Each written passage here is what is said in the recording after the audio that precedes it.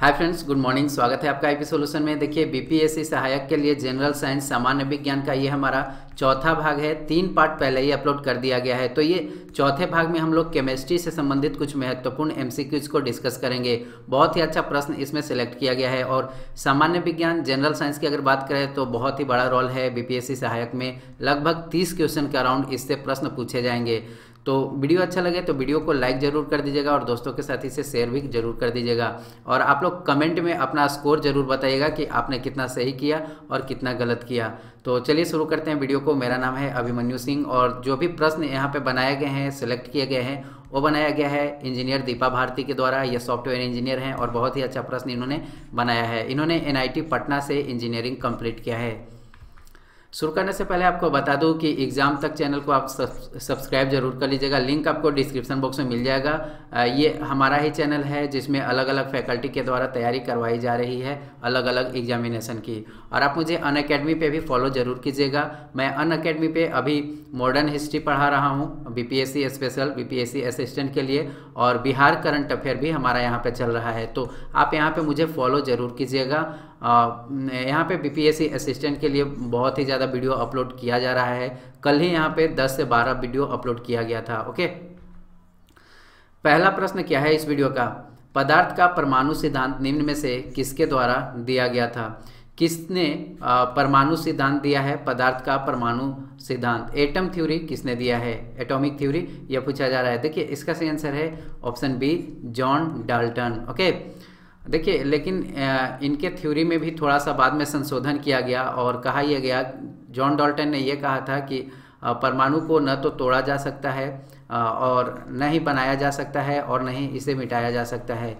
लेकिन ऐसा नहीं है, परमाणु को भी फिर बाद में तोड़ा गया, इलेक्ट्रॉन, प्रोटॉन और न्यूट्रॉन में। तो यहाँ पे थोड़ा सा संशोधन किया गया था इनके थ्योरी में, ओके?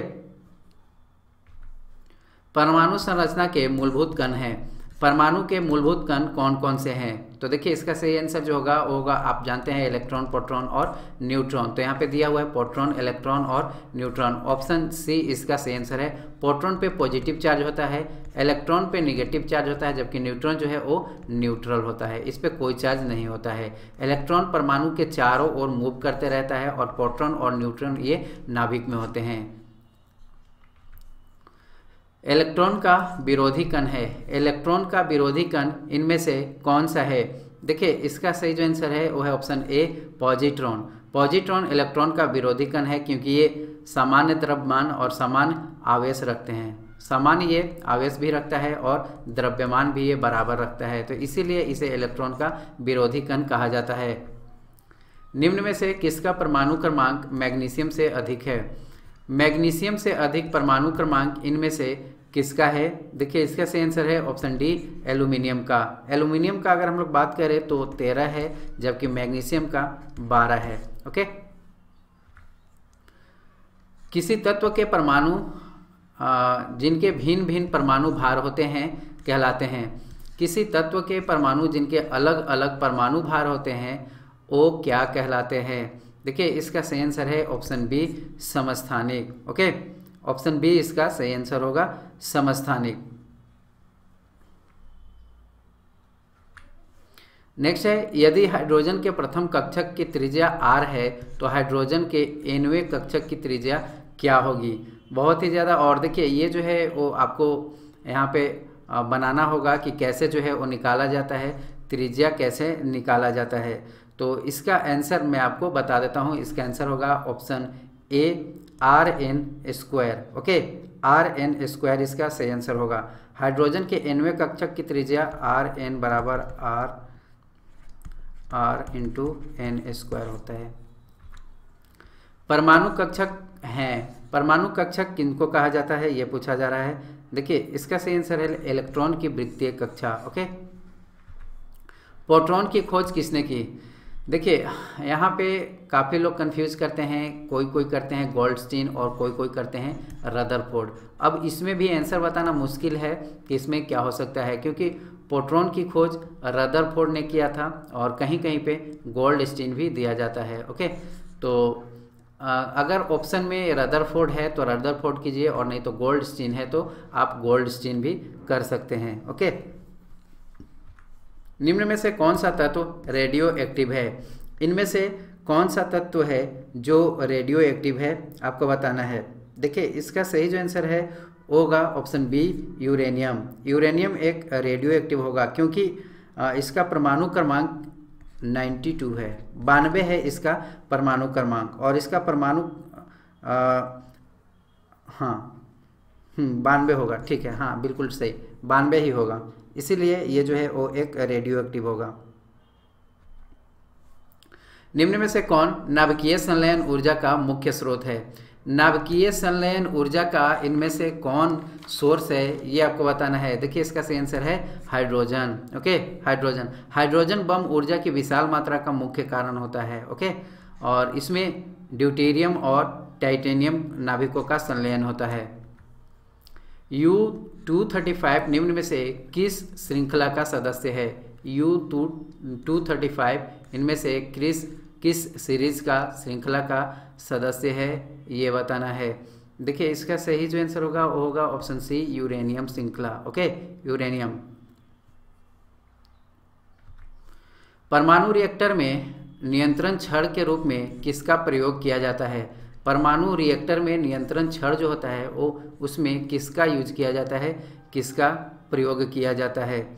बहुत ही अच्छा प्रश्न है और इस तरह का प्रश्न हमेशा पूछे जाते हैं। देखिए, इसका सही आंसर है option D boron okay boron नाभिकीय विखंडन की अभिक्रिया के दौरान श्रृंखला अभिक्रिया को नियंत्रित करने के लिए बोरॉन या कैडमियम इसको कैडमियम भी कहा जाता है। बोरॉन या कैडमियम की छड़ों को न्यूट्रॉन अवशोषक के रूप में प्रयोग किया जाता है। F E three O four में एफ़ की ऑक्सीकरण अवस्था होगी। यहाँ पे आपको कैलकुलेशन करना है और इसका आंसर क्या होगा? देखिए, इसका सही जो आंसर होगा होगा option D eight upon three थोड़ा सा आपको मैं करके बताता हूँ। आपको मान लेना है कि ऑक्सीकरण संख्या जो है एफ़ का एफ़ का ऑक्सीकरण संख्या एक्स है, ठीक है? तो यहाँ पे जो इक्वेशन बनेगा, वो बनेगा थ्री एक्स प्लस फोर यहाँ पे बनाता हूँ। Three X plus four, okay into minus two तो इक्वल टू ज़ीरो तो यहाँ पे x बराबर हो जाएगा एट अपॉन थ्री ओके, ये हो जाएगा इसका आंसर H2O2 में ऑक्सीजन की ऑक्सीकरण अवस्था क्या होगी? H2O2 में ऑक्सीजन की ऑक्सीकरण अवस्था क्या होगी? देखिए, इसका सही आंसर है ऑप्शन बी माइनस वन होगी, okay? Minus one potassium permanganate का प्रयोग पेयजल के शुद्धिकरण के लिए किया जाता है, क्योंकि पोटेशियम परमैग्नेट, इसका प्रयोग पेयजल के शुद्धिकरण के लिए किया जाता है। देखिए, इसका सेंसर है ये एक ऑक्सीकारक है, ओके? निम्न में से कौन सा तत्व सभी अम्लों में पाया जाता है? सभी अम्लों में एसिड में कौन सा तत्व है जो पाया जाता है? तो सभी अम्लों में पाया जाता है hydrogen okay hydrogen option A इसका सही आंसर होगा हाइड्रोजन लेड बैटरी में प्रयोग होने वाला अम्ल है। लेड बैटरी में इनमें से कौन सा अम्ल प्रयोग में लाया जाता है? तो इसमें आता है S two S O four sulphuric acid या सल्फ्यूरिक अम्ल इसको कहा जाता है, okay? S two S O four hydroxyl समूह युक्त कार्बनिक अम्ल कौन सा है? हाइड्रोक्सिल समूह युक्त कार्बनिक अम्ल इनमें से कौन सा है, ओके? देखिए इसका सही आंसर है ऑप्शन बी कार्बोलिक अम्ल, ओके? कार्बोलिक अम्ल। देखिए इसको जो है कार्बोलिक अम्ल को एक और नाम से जाना जाता है फिनॉल, ओके? फिनॉल नाम से भी इसको जाना जाता है। सांद्र थ्री अम्ल को निम्न में से किस धातु के पात्र में रखा जाता है? तो इसको रखा जाता है एल्यूमिनियम में।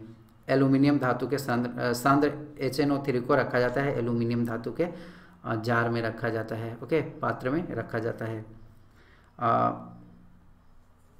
नेक्स्ट है, नींबू का खट्टा स्वाद निम्न में से किस अम्ल की उपस्थिति के कारण होता है? नींबू का खट्टा स्वाद ओके इनमें से किस अम्ल के कारण? एसिड के कारण होता है तो सिट्रिक एसिड या कहीं कहीं पर साइट्रिक एसिड भी लिखा हुआ रहता है। इसके कारण नींबू जो है वो खट्टा होता है। पीएच पैमाने की सीमा होगी। पीएच पैमाने का जो वैल्यू होता है वो कितना होता है? तो देखिए, ज़ीरो से सात होता है पीएच वैल्यू, ओके? ज़ीरो से सात। अगर सात से नीचे आता है तो एसिड होगा, okay? Sorry, one minute. Zero से चौदह होगा, इसका सेंसर होगा। तो ये था हमारा चौथा पार्ट, जिसमें केमिस्ट्री से कुछ महत्वपूर्ण एमसीक्यू सेलेक्ट किए गए हैं। वीडियो अच्छा लगा हो तो लाइक ज़रूर कर दीजिएगा और दोस्तों के साथ इसे शेयर भी कर दीजिएगा और आप मुझे अन अकेडमी पर ज़रूर फॉलो कीजिएगा। So thank you so much